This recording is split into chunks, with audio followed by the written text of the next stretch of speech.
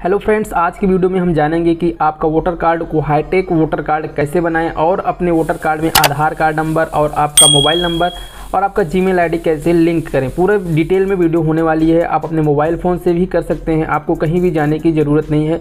बस आप इस वीडियो को फॉलो करें और बहुत ही आसानी से अपने वोटर कार्ड को हाईटेक कार्ड बना लें। चलिए आज की इस वीडियो को हम शुरू करते हैं और जानते हैं कैसे अपने वोटर कार्ड को हाईटेक कार्ड बनाते हैं। सो गाइस सबसे पहले आपको वोटर हेल्पलाइन ऐप को डाउनलोड करना होगा, जिसका लिंक आपको डिस्क्रिप्शन मिल जाएगा, वहाँ से आप डायरेक्टली इसे डाउनलोड कर सकते हो। उसके बाद इसे ओपन करेंगे। उसके बाद यहाँ पर आपको वोटर रजिस्ट्रेशन का एक ऑप्शन मिल जाता है, इस पर आपको क्लिक करना है।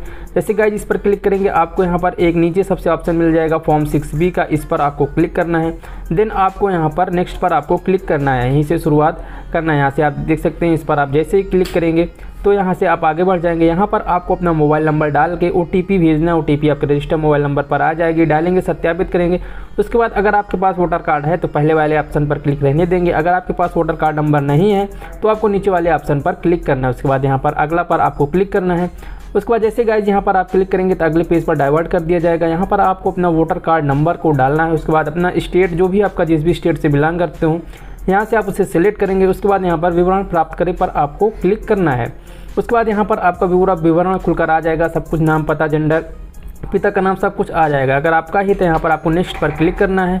जैसे गाइज़ यहाँ पर आप नेक्स्ट पर क्लिक करेंगे तो आपका यहाँ पर अगले पेज पर आपको डाइवर्ट कर दिया जाएगा। यहाँ से आपको आधार कार्ड संख्या का नंबर डालने का ऑप्शन आ जाएगा।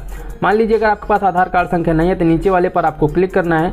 उसके बाद यहाँ से आपको कोई एक डॉक्यूमेंट यहाँ पर अपलोड करना होगा सो गाइज़ यहाँ पर आप कौन कौन से डॉक्यूमेंट अपलोड कर सकते हैं? पूरा लिस्ट यहाँ पर आपको दिया गया है। आपको सिलेक्ट डॉक्यूमेंट पर क्लिक करना है। यहाँ से आप देख सकते हैं driving licence PAN card Indian passport कुछ भी आप यहाँ से अपलोड कर सकते हैं। जो भी अपलोड करना उस पर आप क्लिक करेंगे। उसके बाद यहाँ से नीचे ऑप्शन मिल जाएगा। अपलोड डॉक्यूमेंट का वहाँ से आप अपलोड कर सकते हैं।